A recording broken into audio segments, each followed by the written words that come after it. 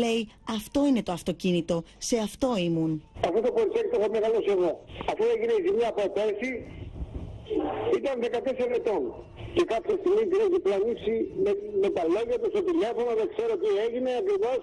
Την έχει βιάσει, την έχει κόψει τα μαλλιά, την έχει εγκαταλείψει στους δρόμους και εγώ το κοριτσάκι δεν ήξερε πού να πάει. Και ευτυχώς υπήρχε ένα πρατήριο δίπλα και δεν μπορούσε να καταλάβει πού να πάει το κοριτσάκι. Και ζήτησε βοήθεια από το πρατήριο και ευτυχώς να είναι καλά εκείνο ο άνθρωπος και εκείνη η κυρία πήρανε τηλέφωνο στην αστυνομία και την πήραν στο αστυνομικό κτήμα Αρχικά είχε θεωρηθεί ότι ο 40χρονο είχε γνωρίσει την ανήλικη μέσω Facebook.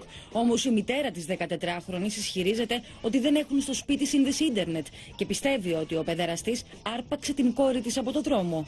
Τη μέρα που έγινε το κακό, μας ειδοποίησαν και πήγαμε στη Γαδά.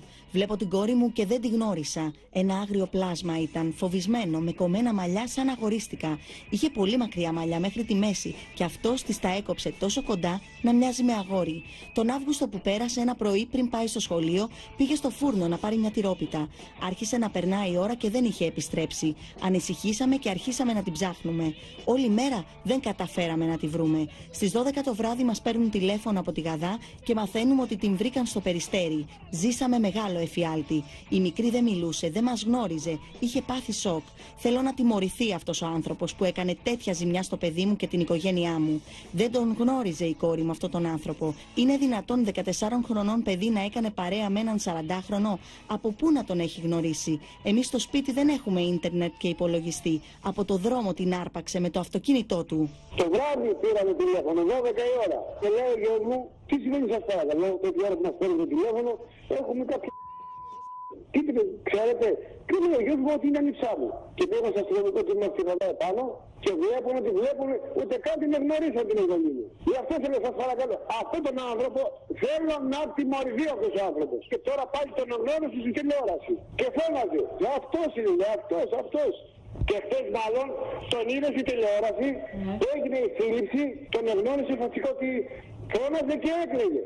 Μου έχει κάψει τα σπλάχνα μου, καταλαβαίνετε, στη ζημιά που μου έχει κάνει την εγγονή μου. Ακόμα δεν έχει γίνει κανένα το κοριτσάκι, έχει σοκ. Αφού τον είδε τηλεόραση και άρχισε φωνές και κλάματα.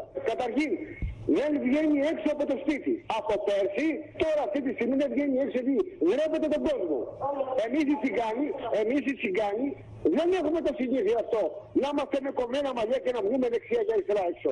Από τότε που έγινε η ζημιά φορά η κουκούλα. Η μικρή αναγνώρισε, όπως λέει η μητέρα της, το άσπρο αυτοκίνητο του παιδόφιλου, το οποίο μόλις αντίκρισαν οι αστυνομικοί, έμειναν άφωνοι καθώς είχε μέσα στρώμα, κουβέρτες, ανεμιστήρα και φωτιστικό. Ενώ ο 40χρονο είχε μέσα επίσης μπισκότα, σοκολάτες και ροφήματα.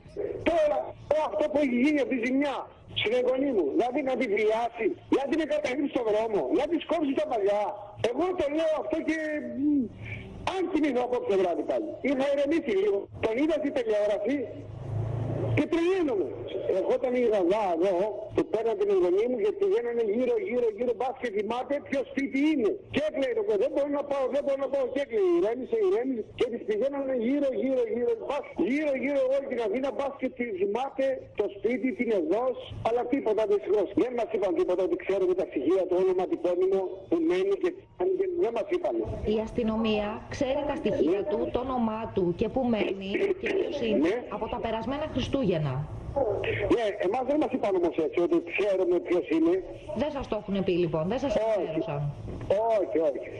Μα. Απλά μας είπανε, λίγες, το πολύ σε ένα μήνα λέει δύο είμαστε πίσω από την πλάτη, δεν θα πιάσουμε κάποια στιγμή. Αυτό μας είπαν όλο και όλο.